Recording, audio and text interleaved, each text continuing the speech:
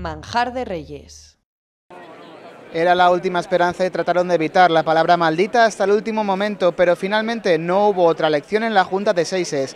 El abad de la Real Cofradía de Minero y Veracruz puso voz a la decisión y anunció lo menos deseado. La procesión de la Virgen de la Amargura quedaba suspendida ante la amenaza de lluvia durante el recorrido, a pesar de haber planteado un trazado más corto del inicialmente previsto.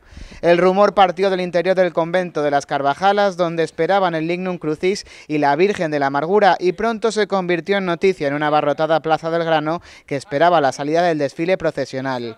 El sacerdote lanzó un soplo de ánimo a los cofrades de Minerva y les animaba a preparar desde ya la procesión del Santo Entierro, que al ser año impar corresponde a la sacramental de San Martín. Tras el rezo de un Padre Nuestro y una salve, la Junta de Seises se dirigió a la carpa de la Plaza de Santa María del Camino, donde se encontraba el resto de tallas. Ya por ese momento los paraguas afloraban sobre la empoderada plaza y el temor a la suspensión se había convertido en una realidad.